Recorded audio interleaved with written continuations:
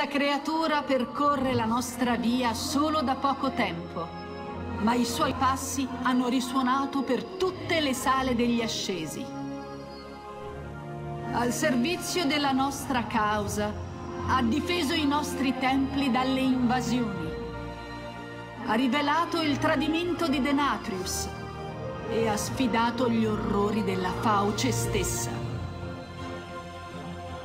In questo giorno l'accogliamo nella nostra sacra congrega.